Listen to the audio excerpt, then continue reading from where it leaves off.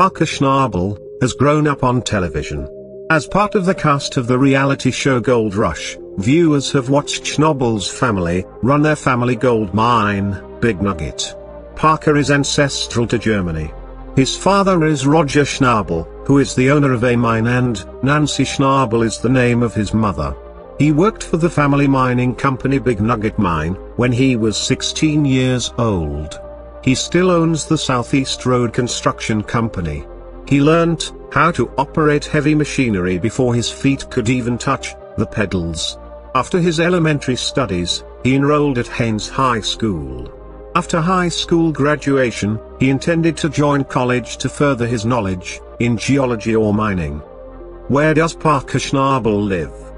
While it's not exactly clear where Parker currently resides, he's a Haines, Alaska native. Parker was raised in a world dripping in gold. Of course, that precious gold came with the less glamorous mountains of dirt and construction vehicles.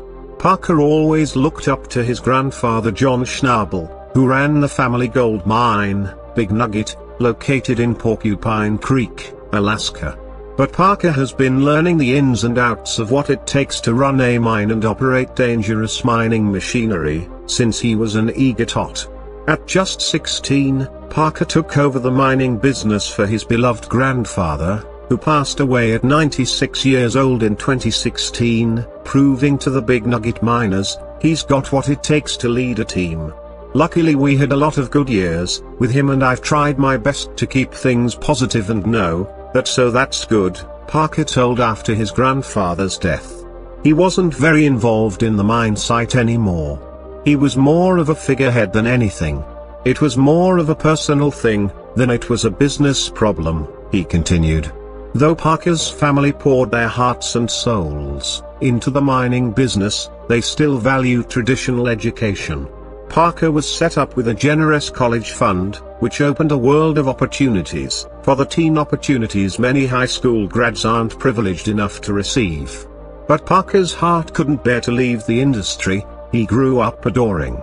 Parker took his fruitful college fund and started his own mining operation in season 4 of Gold Rush. And considering Parker often runs more than one gold mining operation these days, it's no wonder his net worth is approximately $8 million to $10 million.